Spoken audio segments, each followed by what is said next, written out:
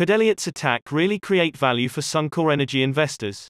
While TSX Energy stocks have more than doubled since last year, Suncor Energy stock has remarkably underperformed. While Canadian energy bigwigs are making respective record highs this year, the country's biggest oil sands player, Suncor Energy, is nowhere close. This has led activist investor Elliott Management to target Suncor. Since last year, TSX Energy stocks have more than doubled, and SU stock has remarkably underperformed. Before we begin, this video is not an investment advice and must do your own diligence. However with my experience investing for years the content from this video has a solid research foundation. Check our Patreon on the description below for an inside members only access on what are the best buys now. We will also update you on what to sell for gains or to avoid losses. Subscribe to our channel so you will never miss out.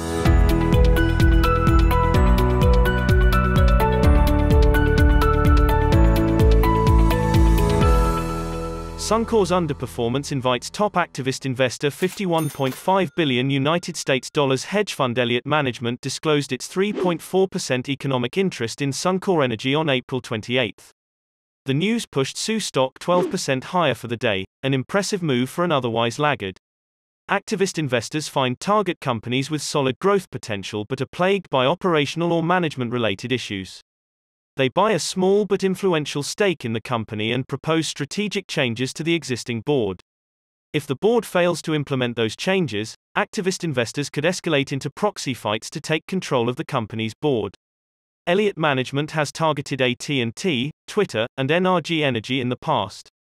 As a result, the share prices of the activist invested companies have shown superior performance in the short to medium term.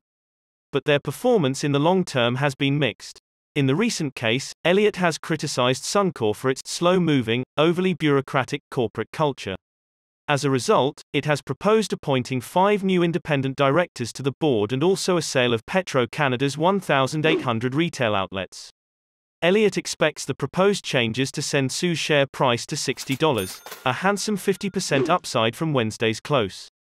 Elliott's proposed strategic changes How Suncor Energy Management responds to these proposed changes remains to be seen. The Canadian energy sector looks extremely well placed in the current scenario with steadily increasing crude oil demand and squeezed supply. Notably, Suncor's underperformance is concerning amid the rallying oil and gas prices.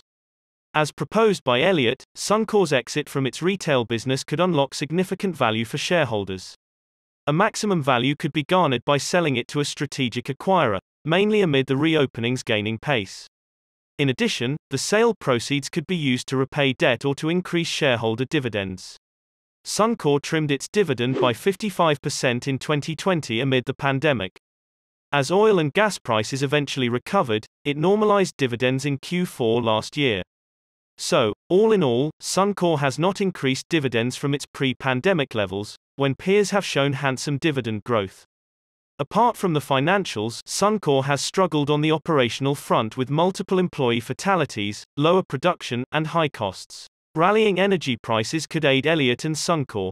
Suncor is planning to release its Q1 2022 earnings on May 3.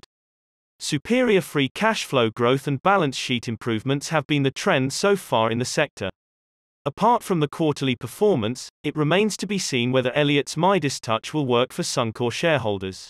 Give us a like if you like our video, subscribe and ring the bell to never miss out. Don't forget to check our Patreon account for the best value stock and investments advice on what are the best buys and what to sell for gains and to avoid losses. See you on our next videos.